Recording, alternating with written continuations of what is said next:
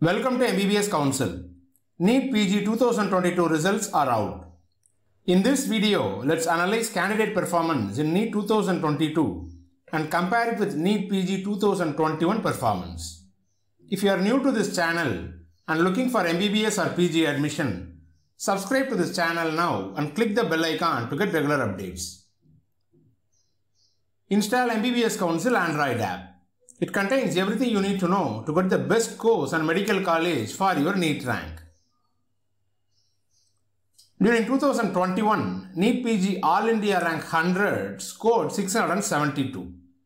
During this year, it decreased to 655, a decrease of 17 marks.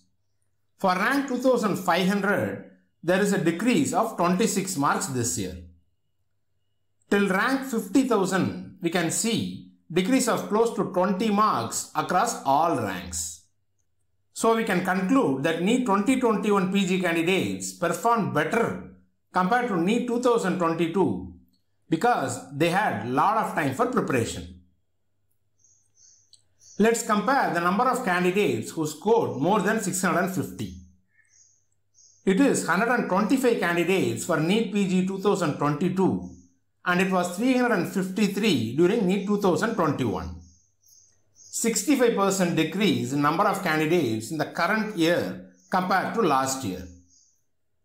Above 550 marks, only 4,640 candidates are there, compared to 8,279 candidates during 2021, a decrease of 50% candidates.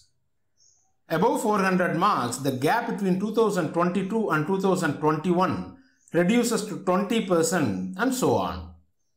So compared to last year, we expect the cutoff score for all PG courses in all medical colleges as well as DNB hospitals to come down by 20 marks. If you want to know the closing NEET PG score and closing rank for all courses in all medical colleges or DNB hospitals, you can install MBBS Council Android app. If you find this video helpful, cheer us by clicking the thumbs up button. I am planning to release videos soon on the expected closing rank for all PG courses including DNB courses in my future videos. See you in the next video.